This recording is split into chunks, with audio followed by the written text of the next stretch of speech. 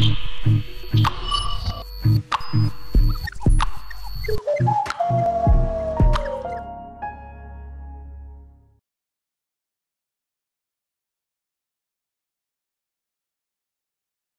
et c'est vraiment euh, un grand plaisir aujourd'hui euh, pour moi d'accueillir, pour moi et puis pour le centre de recherche, Clémas, surtout d'accueillir Emeline Jouve de l'Université Toulouse-Jean Jaurès. D'autant qu'on n'entend pas souvent parler de théâtre. comme je disais à Emeline c'est vrai qu'on n'a plus de, vraiment beaucoup de spécialistes de théâtre américain, notamment, je ne sais pas, parce que côté britannique, oui, mais côté américain, un peu moins. Voilà, donc c'est pour toutes ces raisons-là aussi que voilà, je suis contente d'accueillir Emeline, euh, qui a une biographie très riche que je vais, euh, voilà, dont je vais extraire euh, quelques extraits choisis aujourd'hui. Donc, elle est agrégée d'anglais, elle est professeure des universités à Toulouse Jean Jaurès, comme je vous le disais, associée au laboratoire culture anglo-saxonne, qu'on appelle le CAS aussi. ses recherches portent donc sur le théâtre états-unien d'avant-garde, et euh, donc euh, là voilà, on vient d'entendre parler, comme vous le savez, pour la grande majorité d'entre vous, de Glasspool et Treadwell. Alors Treadwell c'est moins peut-être son domaine de recherche, mais Glasspool oui. elle va nous en reparler aujourd'hui. Donc elle est l'autrice d'une monographie consacrée à l'œuvre dramatique de Susan Glasspool, euh, intitulée Susan Glasspool's Poetics and Politics of Rebellion. publiée en 2017, University of Iowa Press. Et elle est également l'auteur du recueil Avignon 68 et le Living Theatre, Mémoire d'une révolution, euh, qui propose une série de témoignages sur la participation de la troupe new-yorkaise à la 22e édition du Festival d'Avignon. Et en 2023 paraîtra chez Deuxième Époque Un siècle d'avant-garde théâtrale états-unienne, donc euh, autre ouvrage. Elle a également co-dirigé plusieurs numéros de revues ou ouvrages collectifs, euh, je vous donne quelques titres. Euh, Susan Glasspool's Triumphs and the Jury of Her Peers, Centennial Essays, Interviews and Adaptations, avec Martha Carpentier, Mark Farland 2015. elle a également co-dirigé L'acte inqualifiable ou le meurtre féminin, avec Aurélie Guilin et Laurence Talerac-Vielmas, paru chez Peter Lang en 2016. Euh, également Chronique judiciaire et fictionnalisation du procès avec Lionel Mignato en 2017. Le théâtre immersif sur les scènes contemporaines anglophones et francophones avec Déborah Prudon et Juliette Mézergue, euh, donc à apparaître. Euh, le Federal Theatre Project, Contexte et enjeux, avec Géraldine Prévost, qui est également à apparaître. Voilà. Beaucoup de, choses euh, qui vont paraître sous peu et que je vous invite à lire. Donc, euh, elle a publié plusieurs articles sur Susan Glasspool, Gertrude Stein, euh, le Living Theatre, Big Art Group, Wooster Group ou encore Andrew Schneider. Euh, Emeline Jouve est également présidente de la société savante RADAC, ce qui veut dire Recherche sur les arts dramatiques anglophones contemporains. Elle est également la vice-présidente et en fait, m'a-t-elle dit ce matin, bientôt la présidente de l'International Susan Glasspool Society et en charge des échanges internationaux pour the American Theatre and Drama Society. Et enfin, si je puis dire, euh, elle est la directrice éditoriale de la revue en ligne Miranda et en charge des recensions de l'ère américaine pour la revue Caliban. Voilà. Donc, programme bien chargé. J'espère que tu arrives à, tout faire. Euh, donc, euh, voilà. nous allons t'écouter maintenant sur Susan Glasspool. donc, Emeline va nous parler. alors, j'imagine que pour certains, ça va être peut-être quelques redites, mais justement, ça va ouvrir des prolongements intéressants à partir de ce qu'on a entendu ce matin de la part des étudiants. Euh, donc, elle va nous parler tout particulièrement de la pièce Trifons, mais peut-être un petit peu quand même aussi de Jury of Her Peers, donc la nouvelle qui a été euh, euh, écrite à la suite de la pièce. Voilà, je te laisse la parole maintenant. Alors, merci. Ah oui, c'est fort. c'est fort. Vous m'entendez bien? Pas trop bien, peut-être? Non? Ça va? Euh, donc, euh, je voudrais remercier euh, tout d'abord le, laboratoire Climas et en particulier sa directrice Pascal Antoulin pour son chaleureux accueil et évidemment Stéphanie Durance qui m'a fait l'amitié donc de me proposer de participer matin au séminaire de M1 et M2. J'étais ravie d'être parmi vous et d'écouter les, magnifiques exposés et donc qui m'a également demandé donc de vous proposer une conférence aujourd'hui donc, euh, avec euh, la, alors j'allais dire la double contrainte, c'est pas une contrainte, mais enfin, on sait que les contraintes Donc avec pour consigne, entre guillemets, le fait de s'adresser à un public d'étudiants de ces cours de M1 et M2 et puis un public de chercheurs du climat, c'est en particulier donc sur la thématique de la puissance du mode mineur. Donc voilà, je vais essayer de vous proposer une communication qui articule euh, les objets étudiés dans le cours de master et euh, l'intérêt euh, du, du, laboratoire. Donc je vais... Merci, voilà, c'est mieux peut-être. C'est mieux Ouais. Je vais, je vous propose d'ouvrir cette communication sur une contextualisation et de façon vous présenter Glassmons et, et Trifonds avant d'aborder la notion d'herméneutique de l'insignifiant, puisqu'en effet, donc, le, titre de ma communication est pour une herméneutique de l'insignifiant, Interprétation et émancipation dans Triforce 1916. Je parlais un peu de Jerry, mais pas beaucoup, puisque le temps euh, va être trop court, donc principalement de Triforce de second Glassman. Alors, pour démarrer, donc contextualisation, Glassman comme puissance du monde du mode mineur. Glassman, alors, ces dates, pour qu'on les ait en tête, c'est 1876-1948. Pour l'anecdote, en fait, on n'est pas certain. Il y, a plusieurs dates concernant sa, sa, sa année de naissance parce que par coquetterie, peut-être, elle mentait sur son âge. Et, euh, donc, euh, donc, elle se présentait comme étant plus jeune que ce qu'elle était. Euh, mais voilà, les dates officielles sont, sont celles-ci, 1876-1948. Donc Glaspon comme mère de l'ombre du théâtre états-unien. Glaspon a été reconnue comme la mère du théâtre moderne états-unien, mais elle reste très marginalisée et dans l'ombre de celui qui est nommé le père du théâtre états-unien, à savoir Eugene O'Neill. Glaspell était une personnalité reconnue de son vivant en tant que, tout d'abord, fondatrice des Princeton Players, cofondatrice avec son époux George Crum Cook. Et Princeton Players était une compagnie majeure, non seulement dans le développement du théâtre off-Broadway, mais aussi du théâtre moderne états-unien. Et je précise parce que Eugene O'Neill et euh, un auteur euh, que euh, la plupart d'entre nous connaissent, hein, de nom du moins. et O'Neill appartenait à la compagnie des, des Prince Players. Et la légende dit que c'est Glassbone qui a découvert Eugene O'Neill et c'est grâce à, à qu'il a fait partie de cette compagnie-là. Donc on pourrait se demander si Eugene O'Neill aurait eu le succès qu'il a eu s'il n'y avait pas eu Glassbone. Probablement oui. Mais voilà, on aime à croire que euh, s'il n'y avait pas eu de Glassbone, voilà, ce sera, il n'aurait pas eu la même carrière. Euh, elle est également connue comme étant la détentrice du prix Pulitzer pour l'œuvre théâtrale en 1931. Et donc ce fut la deuxième femme après Zola Gale à recevoir ce prix. Elle joue ensuite un rôle fondamental au sein du Federal Theatre Project dans le cadre du, New Deal. Donc ces trois faits, je pourrais en énumérer d'autres, mais euh, font d'elle une figure majeure de l'histoire du théâtre. Et pourtant, à sa mort, Glaspell tomba dans l'oubli. Pour euh, Mary E. Pack, ceci est le propre du destin tragique de beaucoup de femmes artistes. Glaspell émergea cependant euh, de l'obscurité dans les années 60, et notamment grâce à des universitaires féminines qui redécouvrirent Triforce. En dépit de la reconnaissance scientifique dont jouit Glaspell aujourd'hui, ces pièces restent peu présentes dans les curriculums aux États-Unis, à la grande exception de Triforce, qui a beaucoup été, qui est beaucoup étudié dans les cours de droit et littérature. Et si ces œuvres sont énormément jouées par des compagnies d'amateurs et d'amatrices et par des compagnies off-off Broadway, elles sont peu programmées euh, dans des théâtres moins marginaux, théâtres off-Broadway ou Broadway. Nous pourrons dire que Glasspool est une autrice majeure qui se, qui se conjugue au mode mineur. En dépit de sa reconnaissance, elle reste une figure marginale dans le théâtre, dans le paysage théâtral. Triforce, donc deuxième élément de ma contextualisation, Triforce de la marginalité comme paradigme. Glasspool a fait de la marginalité son paradigme.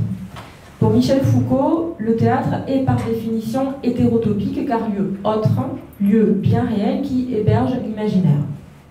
Cependant, le principe hétérotopique est exponentiel chez Glassman car la marginalité est à la fois institutionnelle et thématique. Donc je vais présenter ces deux aspects. Si l'autrice reste aujourd'hui à la marge, c'est peut-être car elle est le produit même de la marge et que, contrairement à d'autres, comme Yuichi encore une fois, Elle n'a pas été rattrapée par le centre, le centre étant l'institution commerciale incarnée par Broadway. Trifonds fut la première pièce solo de Pond. Elle avait préalablement écrit, coécrit une pièce avec son époux qui était Suppressed Desires. Trifonds euh, fut écrite en, 1915, soit un an après que l'autrice ait cofondé avec Cook les Princeton Players. La compagnie revendiquait un rejet du centre, le théâtre commercial, considéré comme médiocre, car le divertissement, car de divertissement est donc n'élévant pas public. L'originalité des Princeton Players concernait également leur volonté de proposer un théâtre de facture états-unienne, alors que la majorité des pièces commerciales étaient européennes. Créée à Provincetown, donc loin de New York, euh, la compagnie s'installe en 1907 à Greenwich Village et donc à la marge de Broadway. Les Provincetown Players euh, étaient donc une compagnie hétérotopique, autre par rapport à la norme institutionnelle en vigueur, Broadway. Glassperm a également fait du principe hétérotopique sa thématique de prédilection. Donc sa première pièce illustre l'intérêt thématique de Glassperm pour les figures marginales et plus spécifiquement les femmes. Les pièces de Glassperm, mais aussi ses romans et nouvelles, sont peuplées de femmes, d'américaines cherchant leur place dans une société qui ne les reconnaît pas comme citoyennes. Trifonds met en scène l'oppression des femmes dans une société patriarcale. Un crime a été perpétré dans la ferme des Wright et les officiels, accompagnés de leurs épouses, viennent trouver les preuves leur permettant de, condamner Mrs. Wright, alors en garde à vue, du meurtre de son époux. Aveuglés par leur a priori et négligeant les indices relatifs au quotidien euh, des femmes qualifiées de trifles, le county attorney George Anderson, le sheriff Henry Peters et le voisin du défunt Lewis, euh, Lewis Hale ne sont pas en mesure de prouver la culpabilité de Mrs. Wright. C'est en considérant ce qui paraît insignifiant aux yeux des personnages masculins que Mrs. Peters et Mrs. Hale parviennent à reconstituer les événements morbides qui se sont, qui se sont déroulés la veille dans la ferme euh, des Wright. Est-ce que c'est bon le son? Est-ce que. Ouais? Cette pièce fut inspirée d'un fait réel, l'affaire Hossack, sur laquelle l'autrice avait rapporté de décembre 1900 à avril 1901 en tant que journaliste pour les témoins Daily News. Mrs. Hossack avait été accusée d'avoir assassiné son mari d'un coup de hache. Lorsque l'on étudie les différentes chroniques juridiques de Glasspan, on s'aperçoit que le point de vue de l'autrice changea progressivement. Initialement, Glasspan dressait le portrait d'une coupable. Comment cette femme aurait pu rester endormie près de son mari alors que ce dernier se, faisait abattre d'un coup de hache? Puis, suite à son investigation, elle s'aperçut que la victime n'était peut-être pas celle que l'on pensait, car Mrs. Hausack avait subi au quotidien la violence de son mari qui, lui, n'avait pas été jugé pour ce crime. En dépit du manque de preuves, Mrs. Hausack fut condamnée pour le meurtre de son mari. Dans un article, Glasspool rendait compte de la sympathie du peuple pour Mrs. Hausack et de la responsabilité des membres du jury en tant que représentants du peuple. Or, le jury ne représentait en réalité qu'une partie des Américains, les hommes, avec un petit H, hein, puisque seule l'agente masculine avait le droit de se prononcer sur la culpabilité d'un individu, homme ou femme. Mrs. Hausack fut donc privée du droit de, représentation par ses pairs, a jury of her peers, comme le revendiquait euh, Susan B. Anthony. L'affaire ouvrit les yeux de Susan Glassman sur l'injustice de la justice états-unienne et Trifonds fut sa réponse face à cette injustice. Comme l'autrice l'expliquait, son militantisme politique se traduisait principalement à travers son écriture et Trifonds fut conçu comme une pièce politique. Avant la théorisation du théâtre politique par Bertolt Brecht, Glaspon expérimente avec ce que l'artiste allemand nomma l'épisation du drame. Réaliste, la pièce n'est pas mimétique, mais basée sur le principe de narration, une narration en creux, creux que les spectatrices et spectateurs, double des protagonistes féminins, sont invités à combler afin de faire sens de la pièce. L'interprétation, l'herméneutique, est un processus à la fois thématisé dans l'œuvre et expérimenté par les membres du public. Cet engagement des réceptrices et des récepteurs est propre au théâtre politique. Pièce de l'implicite, Trifonds a pour personnage principal Mrs. Wright, double fictionnelle de Mrs. Cahusac, qui n'est pas présente sur scène et dont l'épreuve de la culpabilité se dérobe aux yeux des enquêteurs officiels. Glassbaum met donc en scène l'invisible. Pourtant, les termes relatifs à la vision abondent dans le texte, comme le montre Marie-Pierre Mounier dans son étude linguistique de la pièce et de la nouvelle. L'autrice réussit donc le tour de force de donner à voir ce qui n'est pas montré, semblant ainsi défier l'essence même du théâtre, dont l'étymologie renvoie à l'action de regarder. L'une des premières pièces lipoprosopiques, Glaspel a recours à la figure du personnage absent, dont l'absence est symbole de l'invisibilité sociale de Mrs. Wright, de son insignifiance aux yeux de la société patriarcale, comme donc nous le verrons tout d'abord. L'invisibilité sous-tend le principe de détection. Là encore, pièce pionnière, Triforce est l'une des premières pièces de détection. Mrs. Hale et Mrs. Peters euh, et le public sont amenés à faire sens de l'insignifiant, de l'ensemble des éléments qui font le quotidien d'une femme afin de résoudre le crime. donc j'aborderai ce point dans un second temps. Donc pièce lipoprosopique. À l'occasion d'une étude de l'œuvre de Martin Crimp, Elisabeth Angel Perez définit Attempt on her, on her Life de pièce lipoprosopique ou lipogrammatique. Je fais l'hypothèse que Triforce est l'une, si ce n'est la première pièce lipoprosopique. L'adjectif renvoie à la technique du lipogramme, soit l'effacement d'une lettre. Les Oulipo ont fait de cette technique un genre textuel, dont le roman La disparition de Georges Perec est le plus connu. Perec tenta d'adapter son livre à l'écran dans un projet avorté de film intitulé Signe particulier néant, l'artiste prévoyait de mettre en scène des acteurs sans visage. Le théoricien et spécialiste de Pérec, Bernard euh, Magnier, considère, je le cite, ce premier long métrage lipoprosopique du grec proposons visage du cinéma français qui ne vit jamais le jour comme la devise ironique d'une écriture tout entière vouée à conjurer l'absence. Pour le dire avec Isabelle Angel Pérez, la disparition dans la pièce de Crib et de Glassbell ce n'est pas la lettre volée, mais le personnage principal. La pièce Attempt on Her, Life, pour laquelle Crimp parle d'absence de personnage, construit euh, en 17 scénarios du théâtre qui ne cesse de dire l'absence, l'échec à représenter. Pardon, excusez-moi. La pièce de Crimp, donc, euh, euh, je vais y arriver, donc ne cesse de dire l'absence, l'échec de représenter. Point.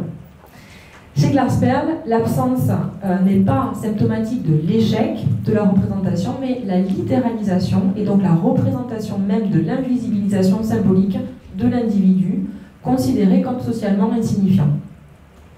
L'absence est un personnage en soi, désincarné, auquel les autres personnages donnent vie par la narration, et donc on revient à la dimension épique. Alors que l'absent est privé de parole, sa parole devient paradoxalement centrale. Elle vient s'incarner dans les objets, éléments de lecture et donc d'interprétation pour les personnages qui donnent voix à Mrs. Wright dans Trifles.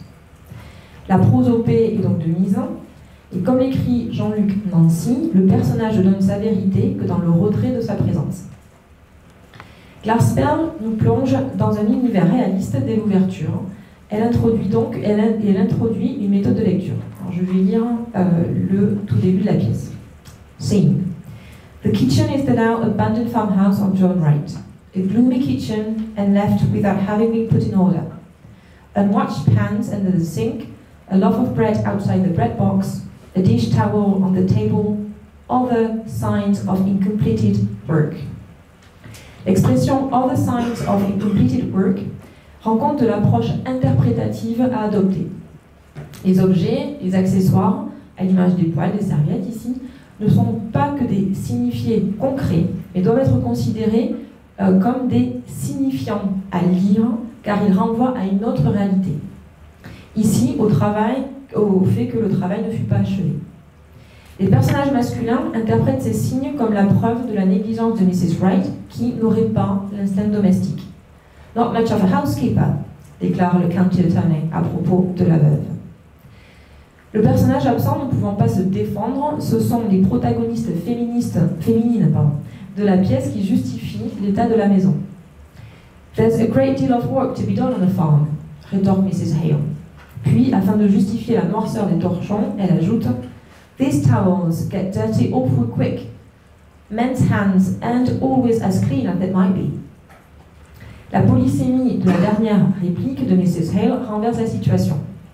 Si les femmes, et Mrs. Wright en particulier, étaient initialement l'objet des reproches des hommes, ce sont désormais les hommes qui sont accusés de ne pas être toujours honnêtes. Nous pouvons ici lire une condamnation de la justice des hommes, euh, de la justice patriarcale, qui condamne les femmes symboliquement réduites au silence, comme le dénonçait Glassfeld dans euh, l'un de ses articles pour le témoin Navy News, où elle représentait Mrs. Hausac, muselée par le discours des hommes, juges, avocats, membres du jury, qui parlaient à sa place. Le soi-disant manque d'instinct domestique de Mrs. Wright, selon le County Attorney, rappelle le discours du procureur lors du procès de Mrs. Hausac.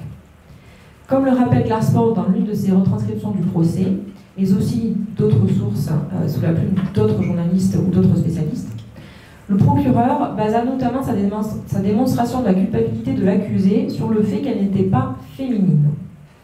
Les études montrent que les codes de la féminité, apparence fragile, attitude maternelle, et de la non-féminité, apparence robuste, froide, manque d'instinct domestique ou, maternel, étaient, peut-être sont toujours, utilisés par les avocats pour dépeindre l'accusé comme une sainte ou un monstre. D'après les, théories du, criminologue César Lombroso, les femmes meurtrières avaient des caractéristiques masculines et ne ressemblaient pas à des femmes normales. Je le cite. Female killers approximate more to males than to normal women, especially in the specularity arches and the seam of the sutures and the lower jaw bones, um, and in particular in the optical region. Du fait de sa stature imposante, Mrs. Hauser fut présentée comme une femme anormale, tout comme Mrs. Wright, qui apparaît pour le County Attorney comme anormale, puisqu'elle apparaît comme une mauvaise femme au foyer du fait de sa négligence. L'anormalité de ces femmes, selon le prisme patriarcal de l'époque, en font des monstres, ce qui suffirait à démontrer qu'elles sont des criminels. Le discours patriarcal est cependant contrecarré dans la pièce par les interventions des protagonistes féminines. Les hommes ne sont pas les seuls à juger Mrs. Wright. Mrs. Wright bénéficie, contrairement à Mrs. Hausac, d'un jury of appeals. Les remarques acerbes de Mrs. Hale, suite au jugement de l'homme de loi, montrent que ce dernier interprète mal ces différents signes constitutifs du domestique car il méprise ces signes qu'il considère en effet comme des bagatelles insignifiantes du titre de la pièce Trifons, comme la scène d'inspection de la cuisine le démontre. County Attorney. Here's a, a nice mess. The women drew nearer. Mrs. Peters, to the other woman. Oh, her fruit. It did freeze. To the lawyer. She worried about that when it turned so, so cold. She said the fire got out and her chance would break. Sheriff. Well, can you beat the women? Hell for murder and worrying about her preserves. County Attorney. I guess before we're through, she may have something more serious than preserves to worry about. Hale? Well, women are used to worrying about trifles. L'intervention de Mrs. Peters traduit la compassion de l'époux du, shérif pour l'époux du fermier. C'est parce que les femmes traversent des expériences similaires mais pas identiques, sans insister l'autrice, que les femmes peuvent se comprendre et sont ainsi capables d'interpréter ces trifles. Lors d'un échange avec Mrs. Peters, Mrs. Hale déclare Well, we all go through the same things. It's just, uh, it's all just a different kind of the same thing. Loin d'une approche essentialiste du féminin, Glaspel semble induire que les femmes, bien que toutes différentes, se comprennent car elles partagent une culture commune. Glaspel serait donc peut-être une défenseuse du euh, constructionnisme avant l'heure. Ainsi, les objets du quotidien, du foyer, ont sens pour ces femmes. Les hommes fouillent la cuisine discrètement car ils négligent l'importance du lieu, tout comme ils négligent l'importance du travail domestique de celle qui l'accomplit.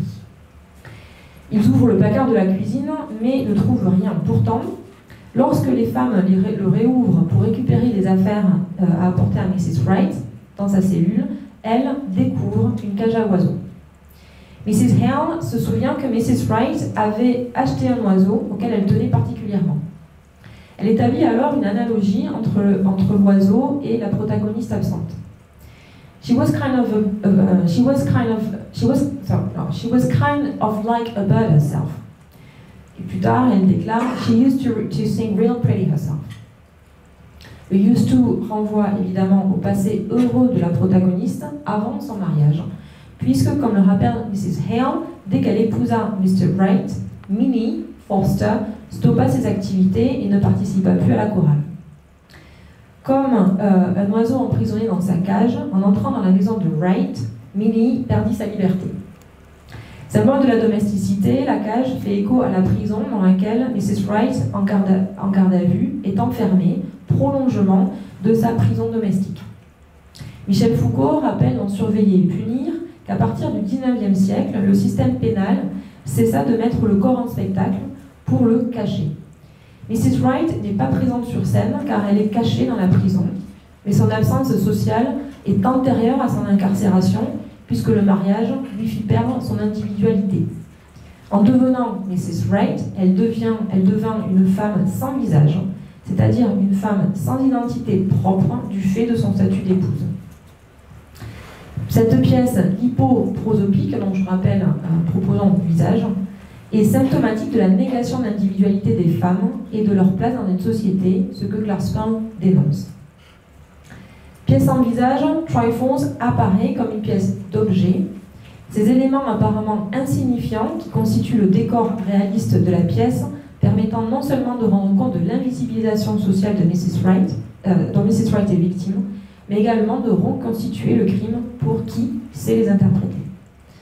Donc je vous propose une analyse rapide de, Glass, de Triforce pardon, comme pièce de détection. Triforce apparaît comme l'une des premières pièces de détection. Alors j'aimerais croire que c'est la première pièce de détection. Je n'ai pas trouvé, mais je préfère dire une des, parce que tant que là, pour l'instant, c'est la seule que j'ai vue. Euh, voilà. La pièce, en un acte, est amputée du prologue et débute in medias res avec l'arrivée des personnages. La raison de leur présence dans l'affaire de Wright est alors, n'est alors pas explicitée. Dès l'ouverture, le silence apparaît comme étant structurel car les spectateurs et spectatrices observent l'entrée dans la maison des trois hommes et deux femmes initialement muets. Les premières paroles relatives au froid qui règne dans cette cuisine, mystérieusement dessus-dessous, ne permettent pas de comprendre l'objet de leur arrivée chez les Wright.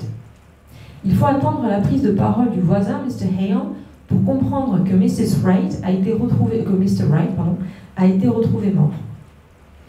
Dès le départ, le suspense apparaît donc comme un des principes de l'œuvre. Cette rétention d'informations initiales conditionne les spectatrices et spectateurs à adopter une approche interprétative, approche, approche propre à ce que George euh, Dove nomme the detection formula. Comme l'explique le, chercheur, les récepteurs euh, et réceptrices de fiction de détection dépendent des enquêteurs avec qui ils et elles collaborent pour interpréter les éléments trouvés par ces derniers. Or, dans Triforce, le county attorney et le sheriff quittent rapidement la scène pour partir fouiller la chambre, partant du principe que rien d'intéressant ne peut être trouvé dans cette antre de la féminité que représente la cuisine. Les spectateurs, spectatrices, font alors face à un impasse. Comment procéder à l'interprétation des signes maintenant que les investigateurs mandatés ont quitté les lieux L'absence, et là encore donc cette notion revient, des enquêteurs est comblée par la présence au plateau de Mrs. Peters et Mrs. Hale qui, contre toute attente, s'avèrent être les véritables investigatrices. Glassman joue donc avec les horizons d'attente des récepteurs et réceptrices. Dans ce monde où la justice est représentée par des hommes, ce sont les femmes qui vont euh, sur qui il faut compter pour trouver les éléments permettant de comprendre ce qui s'est passé la nuit du crime. Les femmes apparaissent comme des herméneutes, des hermès du quotidien qui traduisent non pas les dires des dieux aux vivants, mais interprètent les actes du quotidien des femmes, et en particulier donc les actes de Mrs. Wright. L'ouvrage de la protagoniste, retrouvé dans son panier à couture, littéralise le travail d'interprétation de Mrs. Peters et Mrs. Hale. Mrs. Hale remarque que les coutures des bouts de tissu cousus entre eux apparaissent comme de plus en plus erratiques, ce qui l'interroge. Mrs. Hale uh, examining another block. Mrs. Peters, look at this one. Here, this is one she was working on. And look at the sewing. All the rest of it has been so nice and even. And look at this. It's all over the place. Why? It looks as if she didn't know what she was about. After she, would, after she said this, they look at each other. Then start to glance back at the door. After an instant, Mrs. Hale has pulled a knot and ripped the sewing. Mrs. Peters, Oh, what are you doing, Mrs. Hale? Mrs. Hale, mildly, Just pulling out a stitch or two. That's not the suit very good. Threading a needle. Bat sewing always made me fidgety. Mrs. Peters, nervously. I don't think we ought to be touching things. Mrs. Hale. I'll just finish up this end. Suddenly stopping and leaning forward. Mrs. Peters? Mrs. Peters. Yes, Mrs. Hale? Mrs. Hale? What do you suppose she was so nervous about? Mrs. Peters. Oh, I don't know. I, I don't know how she was nervous. I sometimes feel awfully queer when I'm just tired. Mrs. Hale starts to say something, looks at Mrs. Peters, then goes on chewing. Le tissu se lit comme un texte, du texte, du latin textus, tissu. Les petits détails soulèvent des interrogations initialement restées sans réponse. Cette première question formulée par les femmes, ce premier vide informationnel dont elles font état, va peu à peu être comblé. Cette interrogation initiale est révélatrice du mode de lecture adopté par Mrs. Peters et Mrs. Hale, qui procède par induction, c'est-à-dire partir de l'élément pour tirer des conclusions, et non par déduction, comme les hommes qui, eux, ont déjà leur conclusion, Mrs. Peters est coupable, et qui en cherchent les preuves au risque de se laisser aveugler par leurs préjugés. La première réplique de Mrs. Hale met en évidence l'évolution du voir au savoir. Après avoir examiné l'ouvrage, elle le montre à Mrs. Peters et en pointe littéralement les aspects surprenants, souligne, littéralement les aspects surprenants, puis tire une conclusion partielle. The is all over the place, et ensuite formule une hypothèse. It looks as if she didn't know what she was about, qui va l'amener à s'interroger sur les raisons de cette anomalie. What do you suppose she was so nervous about? L'enchaînement en cascade des occurrences de look souligne la primauté de l'image. Le recours à l'impératif, qui établit un lien entre le locuteur et l'interlocuteur, met en exergue un autre aspect de la méthodologie de ces enquêtrices amateurs, la collaboration. Contrairement aux hommes, aucune hiérarchie n'est établie entre les deux femmes qui coopèrent, comme l'échange de regards le prouve. Les préjugés sont à l'origine du sarcasme des hommes qui vont se moquer de l'intérêt des épouses pour ces objets du quotidien, et en l'occurrence pour l'ouvrage de Mrs. Wright. Mrs. Hale, it's a log cabin pattern. Pretty, isn't it? I wonder if she was going to quilt it or just knot it. Footsteps have been, have been heard coming down the stairs. The sheriff enters, followed by Hale and the county attorney. Sheriff. They wonder if she was going to just. The men laugh and the women are left abashed. Le mépris est à l'origine de leur non prise en compte des secrets que renferme le placard où Mrs. Hale trouve, après la découverte de l'ouvrage, la, cage à oiseaux, symbole de l'enfermement de Mrs. Wright. L'ouvrage est également à l'origine de la découverte d'une mystérieuse boîte trouvée au fond du panier à couture. They look in the sewing basket, Mrs. Hale. Here's some red. I expect this has got sewing things in it. Brings out a fancy box. What a pretty box, looks. Looks like something uh, somebody would give you. Maybe her scissors are in here. Opens box, suddenly puts her hand to her nose. Why? Mrs. Peters bends nearer, then turns her face away. There's something wrapped up in this piece of silk. Mrs. Peters. Why, this isn't her scissor? Mrs. Hale, lifting the silk. Oh, Mrs. Peters, it's. Mrs. Peters bends closer. Mrs. Peters, it's the bird. Mrs. Hale jumping up. But, Mrs. Peters, look at it, its neck. Look at its neck. It's all on the side too. Mrs. Peters, somebody wrung its neck. The eyes meet, a look of growing comprehension of horror. Steps are heard outside. Mrs. Hale slips box under quilt pieces and sink it into her chair. Enter sheriff and Cantil Turney. Mrs. Peters rises. La kinésie, qui est le jeu des comédiennes qui interprètent ce look of growing comprehension of horror, permet aux spectatrices et spectateurs de comprendre que les femmes ont découvert une des pièces du puzzle permettant de résoudre l'énigme du crime. Mrs. Hale induit ensuite les raisons qui expliquent la présence de l'oiseau dans la boîte. L'évocation de l'animal chéri mort fait émerger un souvenir chez Mrs. Peters. Mrs. Hale, she liked the bird. She was going to bury it in that pretty box. Mrs. Peters, in a whisper.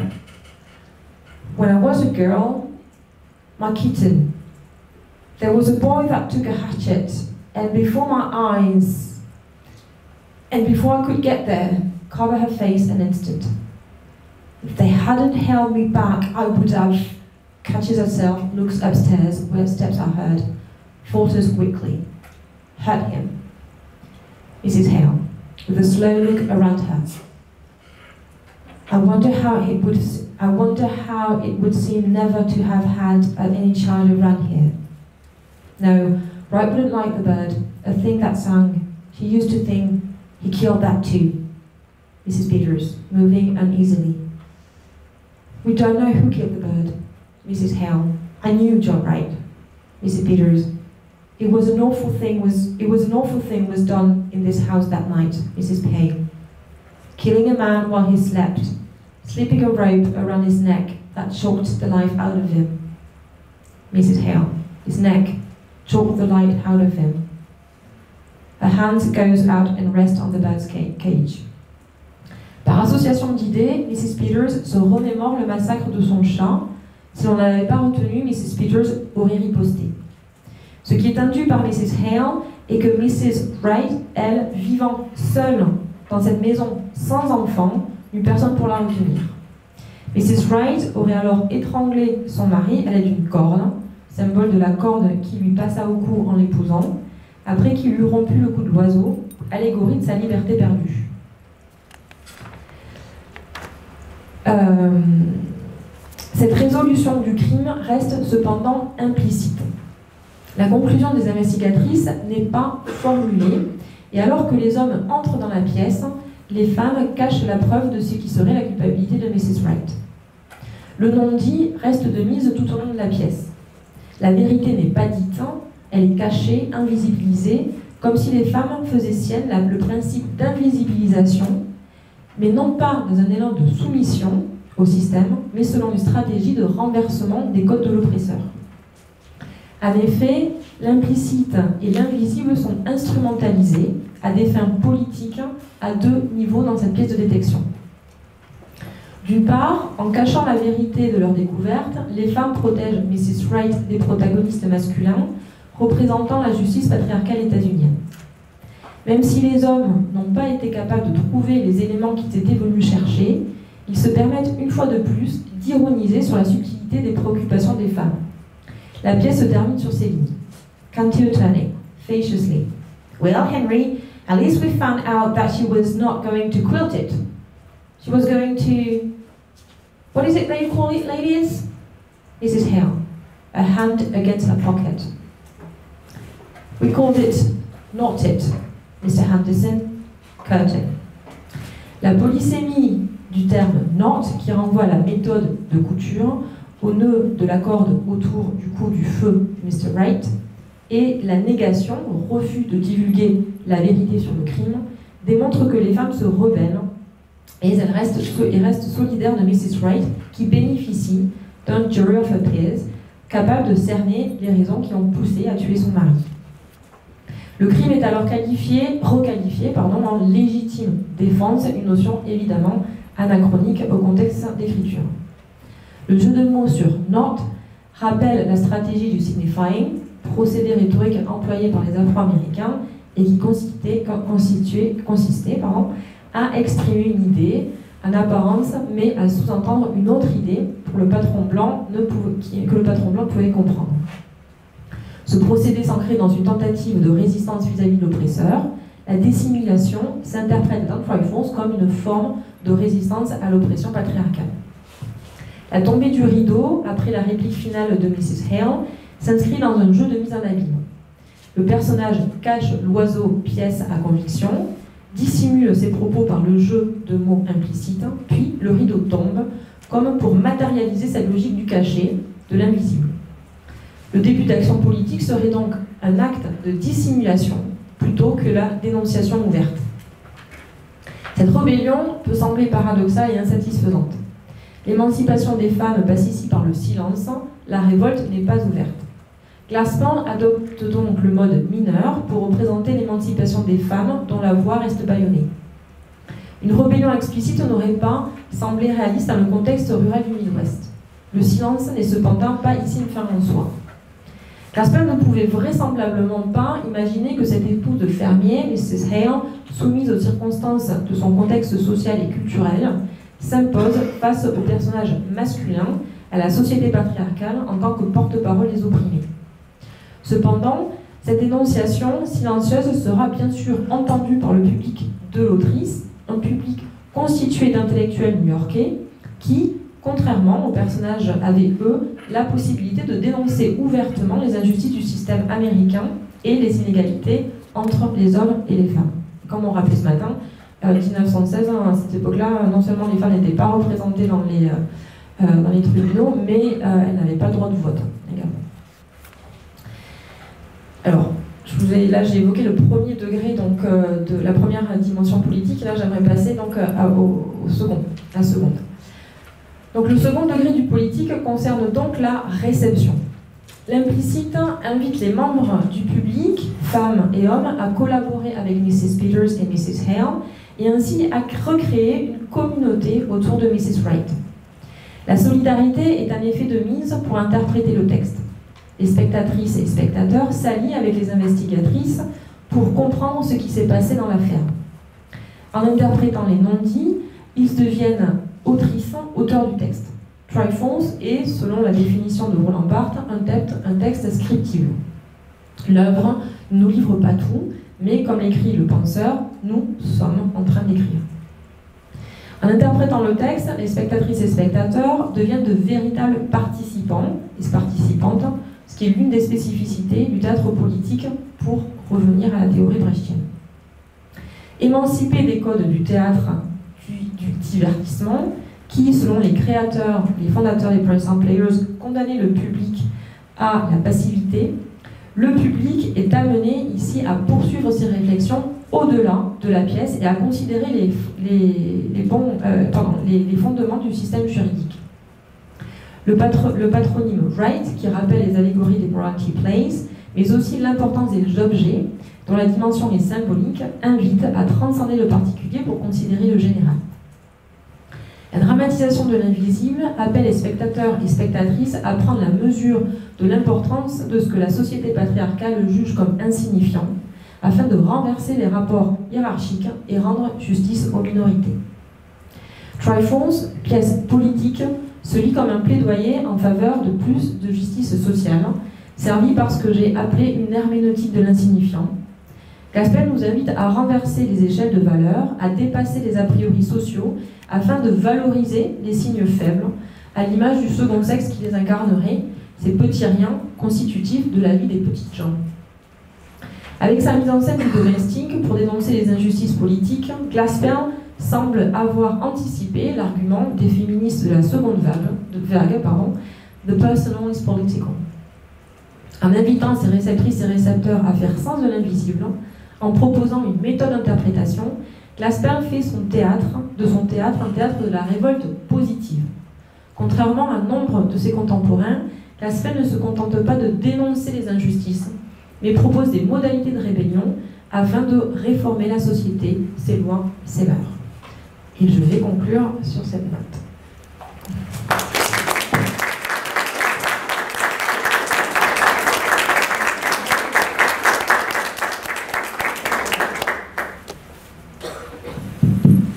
Merci beaucoup. Ah, ça marche? Oui, ah, je vais enlever le masque peut-être. voilà, ça ira mieux. Euh, oui, donc merci beaucoup pour cette étude fascinante, vraiment de l'implicite, des non-dits, du silence, toutes ces choses dont on parle aussi depuis le début du semestre avec les étudiants. Euh, euh, et concernant le fameux NOT aussi, il y a, alors je pense que ça fait partie de l'implicite aussi, mais il y a évidemment aussi le refus du dénouement. Elle, elle, nous, au contraire. Voilà, elles en rajoutent une couche, si je peux dire. Voilà, il refus du dénouement avec le, rideau qui tombe, évidemment, qui va voiler encore plus, comme tu le disais, euh, et, voilà. Et, donc cette mise en scène du secret, finalement, le secret joue un rôle très important aussi dans, la pièce. Donc j'ai adoré cette euh, présentation de, cette, voilà, de Triforce comme une pièce lipoprosopique, donc j'ai découvert le mot, j'avoue, et, qui renouvelle aussi les codes du gothique, comme Augustin euh, nous le disait déjà ce matin, parce que c'est vrai que moi, cette cuisine, elle est vraiment hantée par toutes ces, ces, présences absentes. Alors évidemment, euh, Méné qui n'est pas là, qui est en prison, euh, mais dont, on sent bien la présence partout, l'enfant perdu aussi, parce que ça fait surgir en fait tous les fantômes du passé, comme on, l'a bien vu aussi, hein. le petit chat, euh, l'oiseau, l'enfant perdu par Mrs. Peters, etc. Donc en fait une cuisine hantée par tous ces fantômes-là qui ressurgissent, et c'est vraiment fascinant de voir la façon dont ça peut être mis en scène tout cela. Voilà comme tu le disais, parce que quelque part c'est contradictoire effectivement avec la notion même de théâtre. Hein. Donc voilà, j'imagine qu'il y aura beaucoup de, questions et de, euh, de, remarques des uns et des autres. Ou pas. Ou pas, si, si. Alicia. Juste euh, une question par rapport au fait de cacher l'oiseau. Euh, je trouve ça intéressant parce qu'elle me disait qu'elle aurait aussi très bien pu le remettre en évidence pour que les hommes le trouvent et croient que c'est eux qui l'avaient trouvé de l'ILS. Mais du coup, je me demandais si c'était aussi une façon silencieuse de moquer les hommes et de dire on l'a caché parce que même s'ils l'avaient trouvé, ils n'auraient pas su quoi en faire, ils n'auraient pas pu l'interpréter. Et du coup, bah, ça sert à rien. Et c'est comme elles se sont fait bloquer pendant toute la pièce, je me demandais si c'était pas aussi une manière de reprendre le pouvoir, mais à travers le silence. Alors peut-être je vais répéter la question pour, que voilà. Donc euh, votre question c'était par rapport à l'oiseau et euh, le fait qu'elle le cache comme euh, une manière en fait de signifier que les hommes n'auraient pas été capables d'interpréter ce signe-là, d'une part, et ensuite de reprendre donc l'ascendant sur eux, parce que, voilà. oui, en effet, en fait, elle, en, cachant cette preuve-là, c'est, c'est, en fait, éviter, d'une part, on peut, enfin, il y a plusieurs interprétations, c'est, la magie, bon, déjà de la littérature et de cette pièce-là en particulier, parce que c'est une pièce en creux, déjà, elle, elle refuse de participer à un système qui va chercher les, preuves de la culpabilité de ce crime-là, puisque l'autre crime, qui est la, violence domestique, euh, n'est pas pris en considération. Donc effectivement, euh, euh, c'est une forme de rébellion parce qu'elles vont vraiment à l'encontre du système judiciaire. Et puis après, effectivement, on pourrait aussi se dire que de toute façon, ils n'auraient pas été en mesure d'interpréter ce signe-là, puisqu'ils n'ont pas été en mesure d'interpréter. Enfin, voilà, ils ont ouvert euh, le placard euh, avant euh, que Mrs. Hale ait ouvert le placard, ils n'ont rien vu. Ils sont complètement aveuglés en fait par leurs préjugés et ils ne sont pas en, mesure de comprendre l'importance de ces petits signes. Donc oui, donc effectivement, c'est à la fois, ça peut être lu comme un, commentaire euh, sur euh, l'incapacité à interpréter des hommes, et puis après, évidemment, comme un, comme un signe de leur, de leur révolte et de leur non-soumission au système. Pascal? Euh, Merci beaucoup, c'était très, très intéressant. Je me demandais comment cette pièce avait été accueillie, comment elle avait été oui, accueillie par le public, comment elle avait été oui, si elle avait eu un retentissement, comment elle avait, si elle avait été comprise. Voilà. Alors oui, alors c'était bon. La pièce a été d'abord jouée euh, par les Present Players, puis ensuite, plusieurs, donc en 1915 jouée euh, euh, par les Present Players, et puis après régulièrement elle a été reprogrammée, puis ensuite elle a été jouée par d'autres compagnies. alors les Present Players, c'était quand même, c'était une compagnie constituée de, de poèmes new-yorkais. Euh, qui était très ouvert à ces questions sociétales et donc euh, nombre des, euh, des, des, amis et collègues de Glaspel étaient, étaient des féministes. Donc, et, beaucoup de pièces des Prince Players évoquaient en fait la question de l'inégalité homme-femme, entre autres. Et c'était aussi un des objectifs en fait du fondement de la compagnie. Ils souhaitaient en fait donc proposer des pièces qui parlaient des problèmes sociaux, sociétaux de leur époque. Donc il y avait vraiment une volonté de, de, de, coller, de coller à l'actualité d'une part, et puis ensuite c'était quand même, c'était des, des gens qui étaient très progressifs. donc aussi qui condamnaient beaucoup, enfin, qui remettaient beaucoup en, question le système américain voilà, et la politique, après aussi par rapport à la guerre. Donc c'est une pièce qui a été très très bien reçue par euh, les membres des Provincial enfin, pardon, enfin, je dis les membres parce qu'en fait, les, spectateurs qui assistaient aux représentations, ils devaient être membres d'un club. Euh, en fait, pour de façon à fidéliser, de façon aussi à, faire en sorte que les, que les prix soient accessibles, enfin, il y avait tout un système. Donc c'était des gens qui d'emblée, en fait, avaient déjà une affinité politique et culturelle. Enfin voilà, c'était des gens qui voulaient faire la révolution par l'art, en fait. Euh, et euh, donc la pièce a été très bien reçue. Et puis ensuite, puisque donc Glaspel vivait de son art, mais, mais pas du théâtre, euh, elle a effectivement, c'était l'exposé d'Anna et Augustin ce matin, proposé, enfin, proposé une adaptation en nouvelle qui était Jury of Appeals, qui a été aussi un gros succès littéraire. Donc, euh, et cette pièce, elle a été jouée, rejouée euh, et, euh, par, tout, enfin, tout au long du, de, la décennie 1920. Et aujourd'hui, ça reste vraiment, enfin, c'est grâce à cette pièce-là que, enfin, c'est grâce à Theory of Pièce en fait d'abord, que Glaspel est revenu sur le devant de la scène entre guillemets, parce que, parce que les féministes ont retrouvé cet objet-là et, et, et qu'après il a été utilisé, il est beaucoup utilisé aux États-Unis, donc comme je le disais, par les, euh, dans les cours de law literature pour montrer effectivement voilà, la fictionnalisation. Ce qui est intéressant parce qu'en France, moi je, du coup j'ai travaillé avec un collègue juriste hein, euh, où encore en France c'est dommage qu'ils ne fassent pas plus de law and literature parce que beaucoup de juristes ont l'impression que la loi euh, c'est objectif. Euh, alors que grâce à ces cours de law literature, il y a vraiment une dimension de subjectivité qui est introduite. Hein. et Triforce, enfin, Jury of Appeals, c'est un document qui est utilisé par les juristes pour montrer qu'il y a des lectures en fait de la loi et des événements et comment après euh, une interprétation ou une autre peut amener à une condamnation. Je voulais juste te dire que pour ma part, donc, je t'avais dit, c'est vrai que c'est vraiment, euh, par, lorsque tu étais venu il y a 5-6 ans pour le, congrès, avec un nombre de collègues qui travaillaient sur Glasscall, que j'ai découvert donc, cet auteur, mais j'en avais quand même entendu parler avant euh, grâce à Showalter. Oui. Évidemment, le, qui a repris le titre of Her Peers pour son ouvrage, donc euh, voilà, on sent bien effectivement toute la mouvance féministe derrière. Et moi, la question que je me posais aussi, c'est les défis que cela peut représenter pour un metteur en scène. Ce que tu as peut-être discuté avec différents metteurs en scène qui ont essayé euh, d'adapter la pièce. Euh, quels sont les obstacles? Est-ce qu'il y a des choses sur lesquelles il bute dans la mise en scène de, la pièce en question, du fait de tous ces silences justement? Alors déjà, je pense que la difficulté première, en fait, c'est la langue, parce qu'en fait, elle, elle, retranscrit vraiment un idiolecte de l'époque rurale, et puis après, voilà, enfin, un idiolecte social et temporel. Et donc aujourd'hui, parce qu'il y a plein, c'est vrai que des fois j'ai buté parce que c'est grammaticalement, euh, voilà, pas euh, linguistiquement normé par rapport aux normes linguistiques actuelles.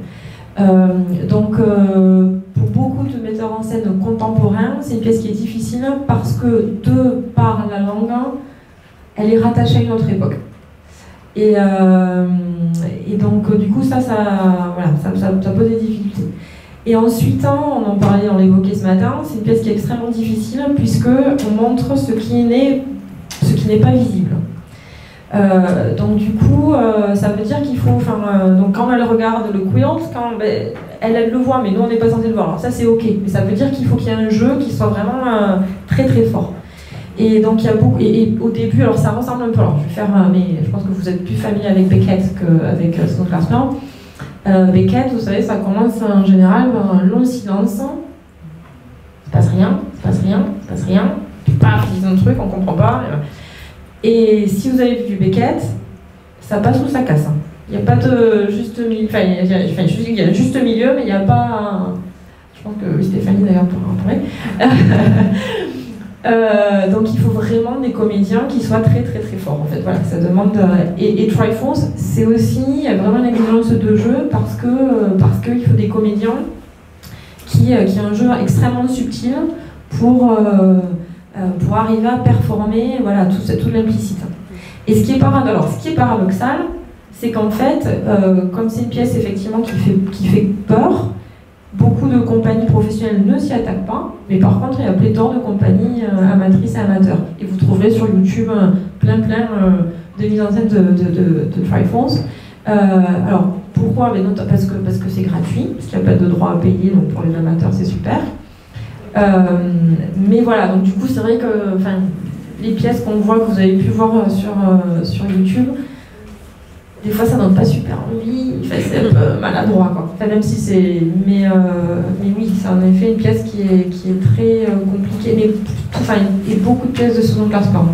Parce qu'aussi, et c'était, c'est la beauté, enfin, parce que comme je disais initialement, le, les premiers employeurs voulaient coller à l'actualité de leur époque. Mhm. Donc même si les thématiques restent malheureusement enfin, universelles, et après il y a une spécificité linguistique hein, qui fait que ben, ça ancre dans un, dans un contexte social. Donc, euh, est-ce qu'elle a été traduite, adaptée euh, en Europe, euh, à part la Grande-Bretagne, la langue est la même, mais euh, voilà, est-ce qu'elle a été diffusée ailleurs aux États-Unis? Alors, nous, on est, enfin, avec la chanson Glassman Society, on, donc on essaye de faire ça. Donc, elle a été traduite en espagnol, jouée par des compagnies amatrices universitaires, en fait. et puis là, avec des collègues, on a traduit, enfin, comme je disais, comme l'expliquait Nathalie, j'ai commandé trois traductions parce que je ne me considère pas comme traductrice. Hein.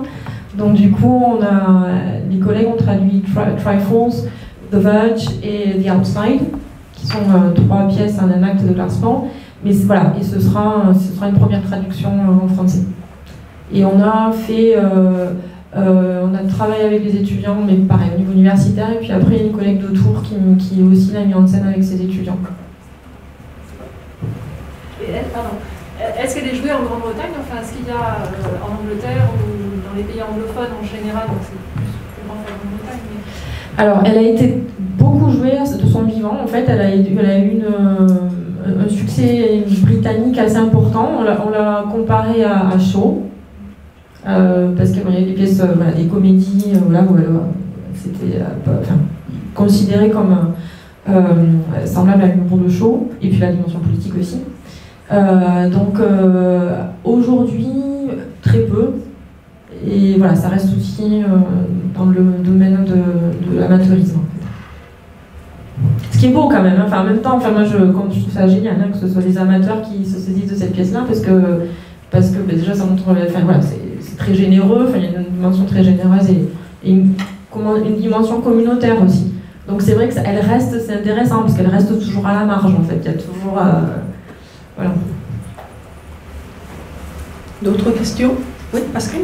Oui, euh, je revenir, euh, mon ignorance, je n'ai pas eu le temps d'aller aujourd'hui, je suis désolée. Euh, mais euh, ce que vous venez de dire sur la langue, c'est la langue est seulement datée. Vous avez dit que c'est aussi un idiolecte oral. Est-ce que c'était en partie pris l'auteur d'écrire de cette façon Et je m'interrogeais Enfin, pour quelle raison? Parce que ça limitait aussi peut-être euh, la diffusion. Enfin, ben, je pense que euh, elle, était du Midwest, donc euh, du coup dans le milieu, enfin, conservateur, même si sa famille n'était pas particulièrement conservatrice par rapport à d'autres du Midwest. Mais voilà, c'est un environnement social qu'elle a connu, dans lequel elle se sentait oppressée, opprimée, et donc du coup, elle s'est euh, entichée du premier euh, intellectuel euh, complètement voilà, loufoque, hein, et elle est partie à New York avec lui, et donc elle a découvert toute la société intellectuelle et, très progressiste de, New York.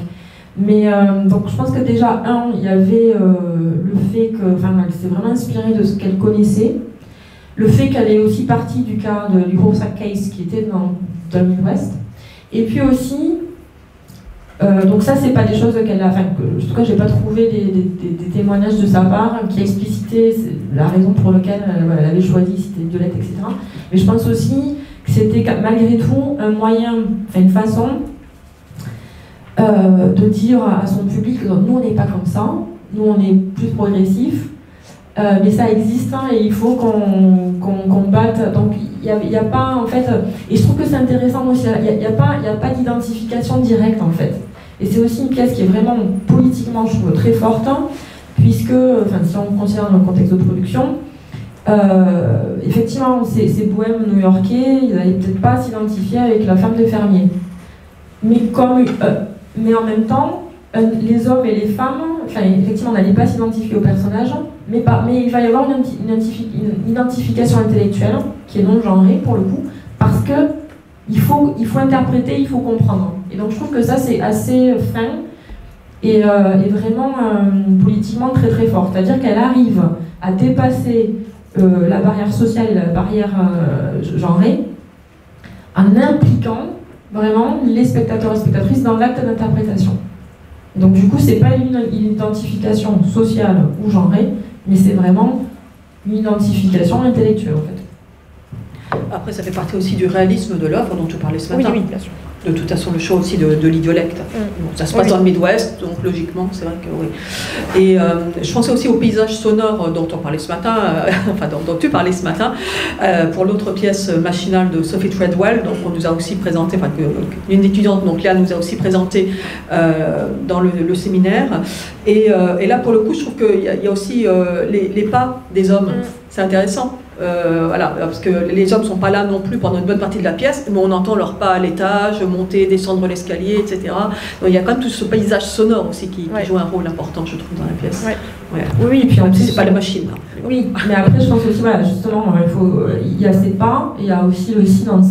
Oui.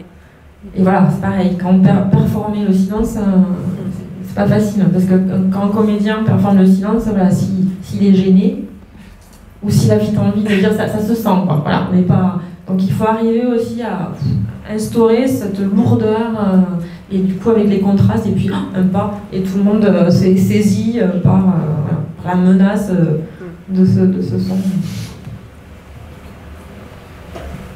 Oui, Thibault Euh, merci. Euh, Peut-être, savez-vous s'il y a eu un cas aux États-Unis comme en France, l'affaire Jacqueline Sauvage, justement, ces hommes auraient pu trouver écho dans euh, euh, l'innocence d'une femme face aux, aux abus Alors c'est intéressant parce qu'en fait quand euh, Jacqueline Sauvage était... euh, enfin quand, le jugé, le cas était ressorti, euh, j'avais fait une présentation à Fordham University et du coup voilà, c'était enfin pour nous là, que c'était d'actualité. euh. alors euh, oui, je pourrais pas... Enfin il y y il y a plein d'exemples euh, de, de- contemporains euh, et euh, je pourrais pas vous en citer en particulier, mais, mais malheureusement euh, oui, ça reste. Mais après, ils sont pas forcément médiatisés comme, comme le sauvage a été médiatisé. Mais euh, il y a eu des cas où euh, les femmes ont pu être graciées. justement. Ah, Gracier Non, par contre, non, pardon. J'avais pas. Oui, excusez-moi, je pensais. Non, non, non. Merci. D'autres réactions On a encore un petit peu de temps, profitez-en. Après, je, enfin, voilà, je disais ce matin, c'était juste par rapport à ça. C'est vrai que euh, moi, quand je fais la pièce avec les étudiants, parfois, enfin, je veux vraiment beaucoup de précautions rhétoriques aussi en amont. Euh, parce que voilà, euh, c'est une pièce féministe, hein, voilà. Mais donc, elle n'est pas en train de dire il faut tuer les hommes. Enfin, Glassball, il y a une autre pièce qui est The Verge où elle tue. bon, voilà. Elle n'est pas du tout. on n'est pas dans- là-dedans. Et, euh, et donc, je disais ce matin, et je trouve que c'est aussi intéressant et important parce que ça, ça montre l'importance de nos disciplines, enfin, l'importance de l'implicite et de l'interprétation et de ne pas considérer euh, euh, une chose hein, pour, à face value. Enfin, il y a toujours voilà, d'autres sens. Et je pense que dans nos sociétés, il faudrait, voilà, il faut vraiment, quand, enfin, nous, on est convaincus parce qu'on on étudie l'implicite et puis le subjectif. Mais ça montre encore encore, enfin aujourd'hui l'actualité là montre à quel point euh, nos disciplines sont importantes hein, et à quel point euh, c'est important de prendre euh, en considération les symboles aussi. Voilà, c'était juste mon moment politique à moi. Justement, sur ce thème me vient, me vient une question parce que Stéphanie a parlé de réalisme et vous, vous parlez d'implicite, d'interprétation. Et moi, ça me fait, ça me fait quand même penser euh, beaucoup à la période, qui est quand même, la période moderniste. Et je me demandais si euh, vous considérez qu'il y a ce- cette, euh, déjà, parce que vous parlez des, vous avez parlé des théories de Lombroso, donc ça c'est quand même la, un, un peu antérieur, c'est le Oui. du siècle. Mais, euh, mais oui, voilà, je me demandais si c'était, euh, ça pouvait être interprété comme euh, déjà l'influence, une, espèce d'influence moderniste. Alors déjà, Glassel, elle a écrit des pièces hein, réalistes hein, et expressionnistes. Donc déjà, c'est quelqu'un qui, euh, qui était familière avec ces deux genres et qui les manie très très bien. Et effectivement, dans la pièce, en fait, c'est réaliste dans la mesure où euh, euh, c'est, il n'y a pas d'effet comme dans Chinon, par exemple, où la psyché va être représentée. Mais par contre, hein, on a un accès à la psyché, notamment euh, par rapport au, au- courant de conscience, en fait, et aux associations d'idées. Donc voilà, ça va être par exemple quand Mrs. Peters euh, repense à son chat, ou voilà, tac, euh, il y a l'oiseau, paf, ça me fait penser au chat, tac, ça me fait penser euh, à ce jeune homme qui avait euh, mutilé le chat. Euh, donc euh, ça va être, euh, ça va croiser entre le réalisme et le modernisme via ces dialogues et via euh, l'émergence d'un courant de pensée. Et je trouve que c'est pareil. Alors, je suis évidemment pas objective. Moi, je trouve que c'est une pièce qui est extrêmement, enfin, qui est magnifique. Je trouve que c'est sa, sa meilleure pièce. Enfin, en termes de construction, euh, c'est vraiment un bijou. Et, euh, et notamment, voilà, ça, ce, ce- la, la- hum, capacité dans une pièce réaliste à faire comme ça émerger de la psyché via des dialogues, enfin, c'était quelque chose euh, d'assez euh, d'assez fort. Et donc oui, on est, on est au carrefour là. Enfin, pareil, ouais. On, a, on voit quand même émerger euh, Oui. ce qui va être. Elle a écrit euh, un an après une autre pièce qui s'appelle The Outside, qui est une pièce qui est plus expressionniste et symbolique euh, dans, le, dans, sa, dans, dans sa forme. Et voilà, là, là c'est euh, vraiment l'atmosphère, c'est vraiment un accès à la boîte crânienne en fait, des, euh, des, des personnages. Et bon, elle était. euh, c'était, c'était. Je suis désolée, là je suis frigorifiée, je commence à. Oui. J'ai mon cerveau qui commence à. Euh, non, non, pas du tout, c'est pas grave. Non, non, mais c'est pas. mais C'était pour expliquer qu'en fait, je semble. euh, mon cerveau se pétrir. on se parlait dans la cuisine. oui, oui. On en parlait tout à l'heure, je me suis dit, ouais, met bien dans l'ambiance. Mais voilà, donc elle était donc c'est au carrefour et Aspel était euh, tout aussi enfin, euh, voilà, expérimentale avec les deux genres. ouais. Oui, oui, ouais, ouais. Et Est-ce qu'il y a des dramaturges qui se réclament d'elle maintenant? Est-ce que vraiment elle a une Alors, figure de, voilà, de mère en quelque sorte Alors, je ne sais pas si enfin, pour Lavrogon, qui est, bon, qui, qui- qui est assez connu sur le paysage euh, théâtre contemporain, euh, elle dit que c'est quelqu'un qui l'a énormément influencé. Euh, pour Lavrogon, c'est qu'elle a écrit euh, Harlem Drive, elle a eu un Pulitzer, c'est en 95. Euh, et c'est une pièce, hein, alors c'est quelqu'un qui écrit sur des pièces vraiment euh, qui sont chargées thématiquement, euh, sur l'inceste, hein, sur le sida, voilà.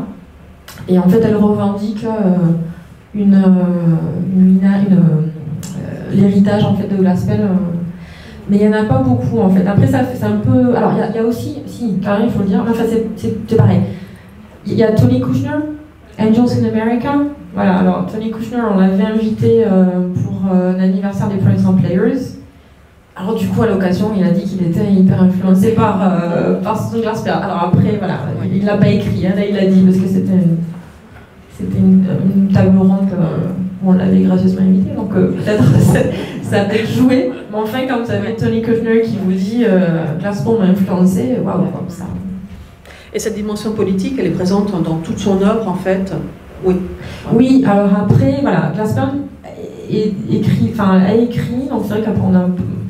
euh, elle, elle avait une santé fragile, hein. c'est quelqu'un qui a eu beaucoup de problèmes de santé. Alors c'est intéressant parce qu'il y a beaucoup, enfin là on travaille, toi et moi, sur Duet pour euh, l'agrégation. C'est impressionnant le nombre de femmes autrices qui ont des problèmes de santé et qui, voilà, c'est intéressant comme, euh, comme sujet. Euh, et donc elle, elle avait fait partie d'un groupe féministe qui était Heterodoxy euh, Club. Mais en fait, elle était très peu présente après au meeting, etc. Elle n'allait pas euh, défiler dans les rues. Et en fait, elle, expliquait que comme elle était de santé fragile, en fait, l'énergie qu'elle avait, elle, elle la mettait dans ses pièces pour au profit en fait de ses idées politiques. Donc elle n'avait pas une, c'était pas un militantisme. euh, c'est pareil, c'est quand même un peu l'image de ces personnages. C'était pas un militantisme, une rébellion ouverte, hein, mais c'était plus, plus dans l'implicite. Et, mm. donc oui, elle était. Puis après, elle a, enfin, au-delà, donc bon, il y a le féminisme, mais par exemple après par rapport à l'implication des, des États-Unis pendant la, euh, la Première Guerre mondiale, euh, puisque beaucoup d'Américains, notamment beaucoup de Bohèmes, étaient contre en fait, hein, voilà, cette, cette, intervention des Américains euh, sur le front européen, et aussi toutes les lois de censure, etc. etc. puisque elle, a beaucoup écrit là-dessus, et il y a beaucoup de ces pièces qui ont manqué, qui, qui, ont failli être censurées parce que justement, elle, elle, elle, était pour, les objecteurs de conscience, etc. Alors après, pendant la Deuxième Guerre mondiale, par contre, là, elle a été beaucoup plus... Euh, elle, a, participé à l'effort de guerre, donc du coup, certains disaient, mais tiens, elle était contre, mais elle est pour. Euh, et euh, c'est marrant, tu, parlais de Duet, effectivement, sur qui on travaille toutes les deux donc pour l'agrégation. Euh, et il y a quand même beaucoup de points communs aussi, hein, la, mise en valeur de l'empathie, notamment, qu'elle recherche, donc chez le lecteur, chez le spectateur, les silences aussi. Euh, voilà. donc c'est vrai que moi aussi, quelque part, quand j'ai relu, Glaspon le, pour ta venue, je me suis dit, tiens, finalement, ça me rappelle aussi ce que je suis en train de faire sur Duet. Oui, il y a beaucoup de points communs. Oui. Euh, oui, j'ai une question si je peux. D'abord, merci beaucoup pour cette présentation euh, que j'ai vraiment beaucoup, beaucoup aimée. Euh, je me demandais si vous pouviez un peu revenir sur l'idée de la mise en scène du domestique pour dénoncer les injustices politiques. Est-ce que ça revient dans tous ces écrits et est-ce que c'est pour d'autres injustices que celles liées au genre notamment? Alors, toutes ces pièces sont, enfin, sont localisées dans des maisons. Et oui, le domestique reste vraiment un élément extrêmement central. Euh, alors, ça va être. Cette pièce-là, c'est une pièce effectivement qui est dans le Midwest. Après, elle a fait des pièces sur, par exemple, Suppressed Desires, qui est, euh, c'est juste la pièce miroir en fait de celle-ci. C'est un couple de bohèmes et en fait, euh, donc c'est un peu, c'est une, pièce sur la mode du freudisme. Et donc, c'est une, c'est très drôle. Enfin, c'est très. Voilà, c'est très, c'est très drôle. Euh, la personnage, la protagoniste principale, elle, euh, voilà, elle, prend en cœur les théories freudiennes, mais comme elle a rêvé d'un truc, elle se dit qu'il faut qu'elle quitte son mari. Enfin, il y a tout un quiproquo, etc. etc. Et donc, euh, donc là, c'est effectivement le domestique bourgeois qui est mis en scène, où il va y avoir une focalisation sur des détails comme des livres, etc. La fenêtre, donc là, voilà, on en parlait ce matin, il n'y a pas de fenêtre ici dans ce place des oreilles, là où c'est des bourgeois, il y a une fenêtre, parce qu'il y a une ouverture, etc. Et, euh, mais, mais par contre, euh, du coup, c'est plus pour, enfin, pour une satire aussi de, de certaines modes. Donc c'est intéressant parce qu'elle n'est pas non plus, enfin c'est pas, c'est toujours très nuancé, enfin, enfin très nuancé. Je veux dire, enfin non, je veux dire, euh, l'occurrence là non. Mais, euh, mais c'est pas, c'est pas les, conservateurs du, ruraux du Midwest, ils comprennent pas le sens de la vie, alors que nous, euh, bohèmes de New York, on a tout compris parce qu'on lit Freud. Euh, donc voilà, elle a quand même, enfin, il y a beaucoup d'autocritique aussi par rapport à, ça. Euh, il y a une pièce qui s'appelle The Verge qui est, qui est, magnifique où donc effectivement spoiler donc elle tue, son, son, amant à la fin parce qu'il l'aime et donc du coup elle se sent emprisonnée.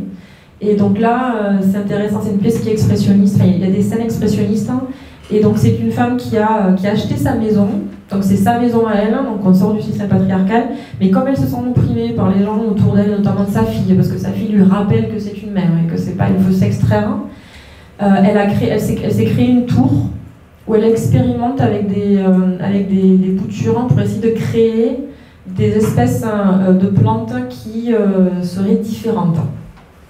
That diverge. Donc voilà, veut, c'est tout le symbolisme de, euh, et, donc là, en fait, c'est effectivement euh, comment euh, l'espace domestique et la maison est un espace d'oppression. Et donc elle, elle se crée cette tour qui, qui, est un laboratoire, donc qui est plutôt, qui serait plutôt du côté un peu céphalique. Enfin, il y a tout un truc. Donc qui serait plutôt du côté masculin. Et, mais qui devient son domaine à elle. Et dès que quelqu'un pénètre dans cet entre-là, pour elle, c'est une violation en fait de, de sa personne en fait. Donc euh, oui, tout le domestique, c'est vraiment central. Et en fait, pour l'anecdote, euh, euh, quand j'avais fait mon, parce que j'avais fait, fait mon M2 sur Glass Girl, quand j'avais fait mon M1 sur les vagina monologues, donc voilà, c'était très différent. mais le M2, j'avais fait sur le classement, c'était sur les, les, maisons en fait. Merci. Bien, merci. Est-ce qu'il y a d'autres questions ou est-ce qu'on s'en tient là? Il est midi moins 10. Et il fait très froid, je vous confirme. Même moi qui ne suis pas frileuse, vraiment. Euh, bon. Euh, donc je crois qu'on va aller tous se, réchauffer. Euh, bon, bah, écoutez, merci beaucoup et encore merci Emeline surtout. Ben, merci à vous. Hein.